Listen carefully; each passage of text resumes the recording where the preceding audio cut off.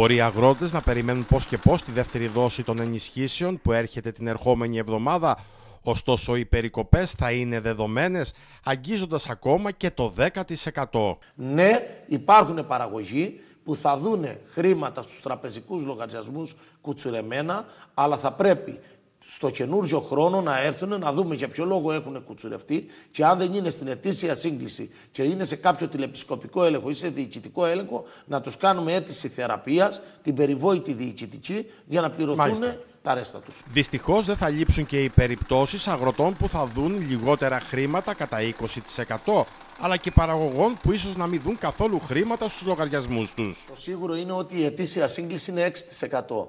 Το 6% πάει μέχρι το 10% αναλόγως στη σύγκληση και αναλόγως στις καλλιέργειες που έχει ο κάθε παραγωγός.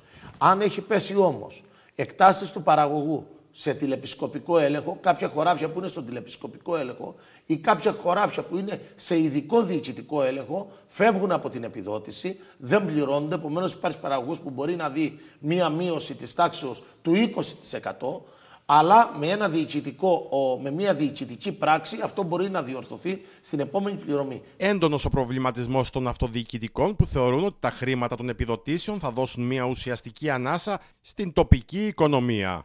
Σιγά σιγά κουτσουρεύονται. Νομίζω ότι και στη νέα ΚΑΠ δυστυχώς δεν μπορούμε να πούμε ότι από τις επιδοτήσεις μπορούμε να υπάρχει ενίσχυση του μικρού παραγωγού. Αξίζει να αναφέρουμε πως από το 2015 μέχρι και σήμερα οι περικοπές των επιδοτήσεων στην Κρήτη ξεπερνούν ακόμα και το 50%. Η Σιτία, κύριε Δασκαλάκη, είναι ένας κατεξοχήν λεωκομικός δήμος. Ε, ε, θεωρώ ότι ίσως είναι ο πιο μεγάλος λεωκομικός δήμος πιθανότατα στην Κρήτη. Ε, η αλήθεια είναι ότι με τις επιδοτήσεις υπάρχει ένα θέμα και το οποίο θα, θα καταστεί μεγαλύτερο στη νέα ΚΑΠ